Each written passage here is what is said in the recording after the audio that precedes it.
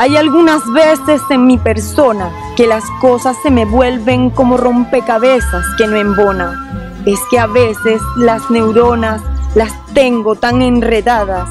Es como si tuviese las ideas en el cerebro atrapadas.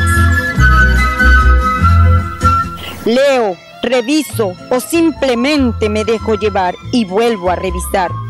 Mas no me nace la inspiración sobre el tema escribir y entonces caigo en cuenta que para poder escribir tengo que llegar a sentir, pues son los sentimientos que guían mi escritura. Es simplemente mi alma pura. Por eso, para inspirarme sobre este proyecto de alcantarillado, tuve que viajar a su historia en el pasado y luego volver al presente para que así entienda mi gente. Las pestes azotaban a la humanidad, siglos tras siglos por la insalubridad. Aún así, se veía el esfuerzo de algunas civilizaciones en crear sistemas para reducir este problema y obtener soluciones. Así pido a Dios en este día los bendiga desde arriba, porque a Él todo proyecto debe ser confiado y así no quedar a la deriva.